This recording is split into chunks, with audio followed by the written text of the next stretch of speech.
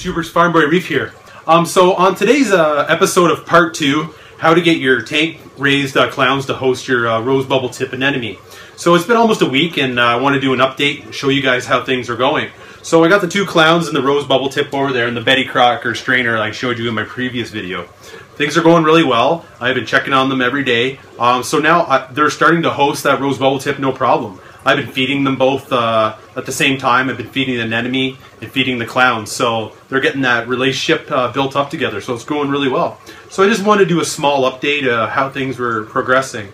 So I'm going to show you guys up and close and personal them, them hosting uh, the rose bubble tip.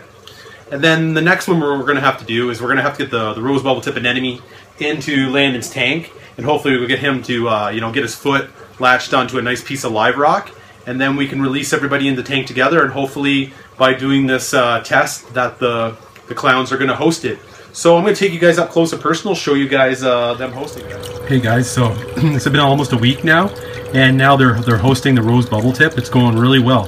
So the next thing that we have to do, we have to release them into the tank and hopefully they'll host them in the tank because right now they're just hosting in the Betty Crocker strainer. So everything's working out perfect. I gave them their time. You guys can see they're beautiful looking uh, clowns. Landon's clowns are uh, looking really good. So they're just playing in them right now, so it's looking good. So we just got to get them into Landon's tank now, and hopefully by doing this experiment it's going to work. So you can see Landon's live rock, we got it all aquascaped. This is the way he wanted to do it.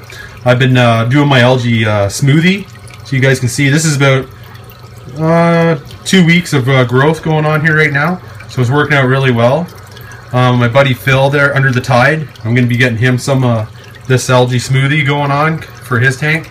The next thing. So everything's coming coming along really well.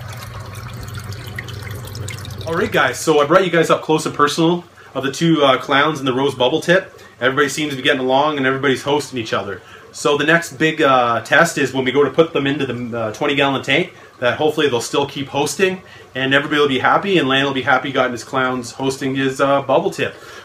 The next thing coming up, um, I'm going to be doing an unboxing video.